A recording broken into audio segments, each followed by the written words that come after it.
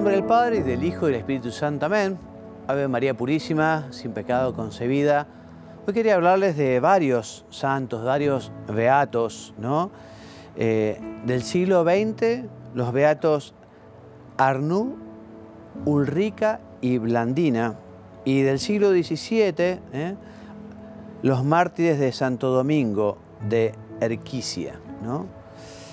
Estamos en el año 1987 y el 18 de octubre el Santo Padre, el Papa San Juan Pablo II, beatificó estos 16 beatos dominicos, como les decía, San Domingo de Erquicia y sus compañeros, que habían sufrido martirio en el Japón por el siglo XVIII.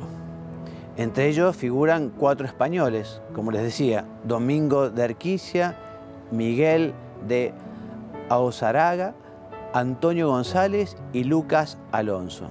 Los demás eran el filipino Lorenzo Ruiz y nueve japoneses, junto con un italiano y un francés, todos beatificados por el Papa San Juan Pablo II en octubre del 87.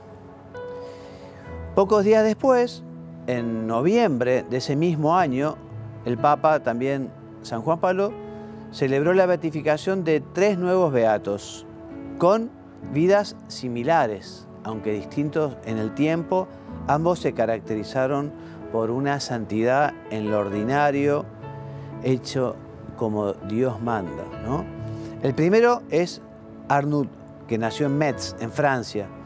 Eran nueve hermanos y tuvo que trabajar pronto para ayudar a la modesta economía familiar. Entró en los hermanos de las escuelas cristianas. Destacó como hombre de intensa oración y penitencia. Austero consigo mismo, era afectuoso con los demás y practicaba la virtud de la eutrapelia, o sea, hacer la vida agradable a todos, la vida agradable a los demás. Trabajó en el colegio de San José de Reims, se formó muy bien en Sagrada Escritura y en espiritualidad y fue un gran confesor y experto catequista. Como maestro de novicios, realizó una labor muy fructuosa, como se vio en lo que en todos los que pasaron por sus manos.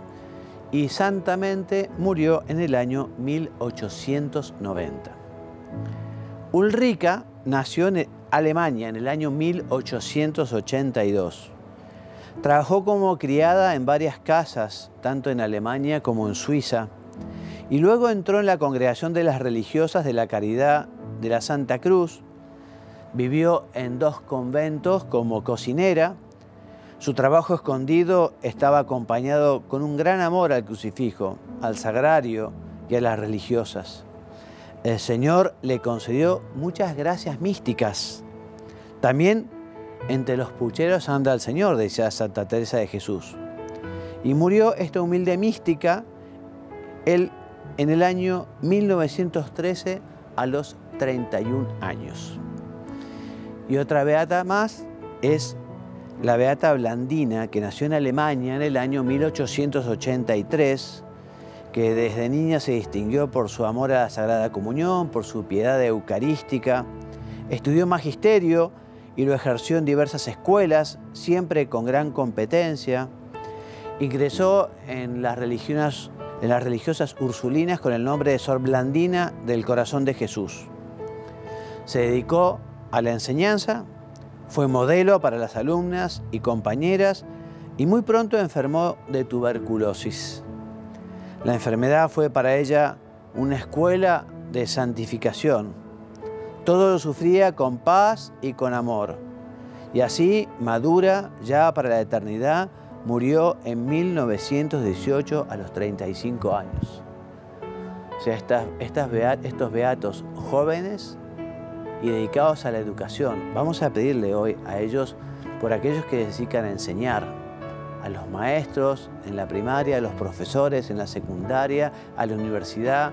El pedagogo está llamado a vivir una vocación de entrega y de generosidad. Vamos a pedirle a estos beatos, a estos santos, que ayuden a los maestros, a los profesores, para que realmente pongan el corazón en su tarea. Que Dios los bendiga y los haga muy santos. Amén.